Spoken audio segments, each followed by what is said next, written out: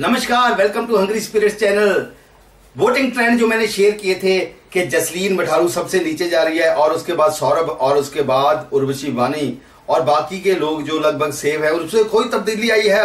फटाफट लोगों ने, कुछ लोगों ने वोटिंग करके एक आदमी को थोड़ा ऊपर पहुँचा दिया है। ऊपर मतलब वोटिंग में ऊपर।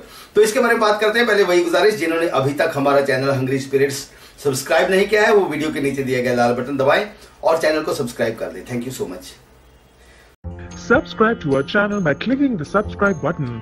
Click the bell button and enjoy the latest uploads from our channel.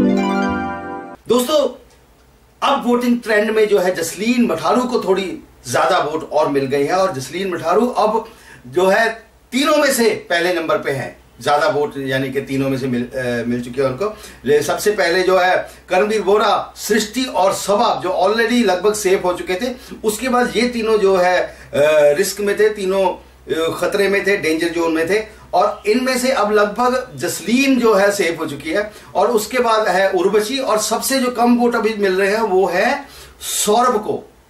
तो बिग बॉस खबरी के मुताबिक, इस हफ़्ते सौरभ को घर से बाहर निकल जाना चाहिए। आपका क्या कहना है कि सौरभ निकल जाएगा घर से बाहर?